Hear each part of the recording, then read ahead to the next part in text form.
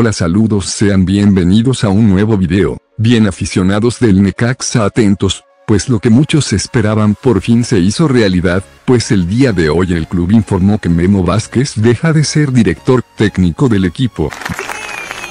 ¡Sí! ¡Woohoo! ¡Woohoo! ¡De!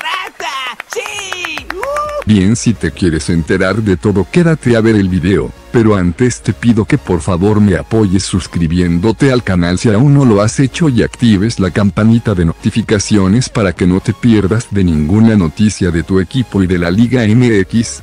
¡Puta, qué ofertón!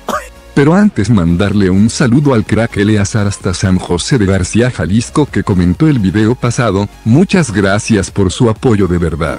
Es que Chale, tú eres bien lindo, güey. Bien ahora sí ponte cómodo porque comenzamos.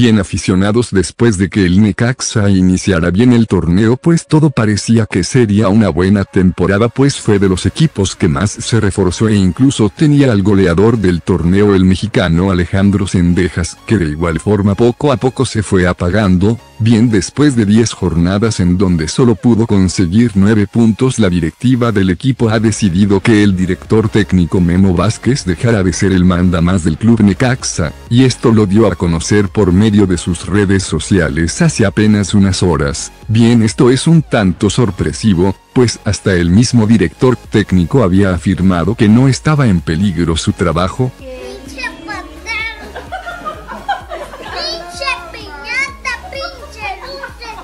pues dijo que por parte del club no existía un ultimátum.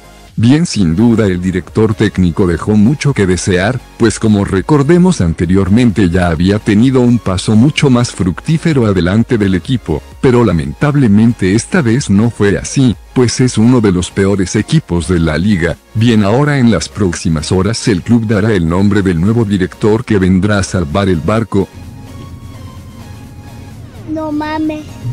Esperemos y logre sacar el mejor potencial de todos los jugadores. Bien, esto es todo por el momento. Por favor apóyame suscribiéndote y si te gustó el video regálame un like. Hasta la próxima.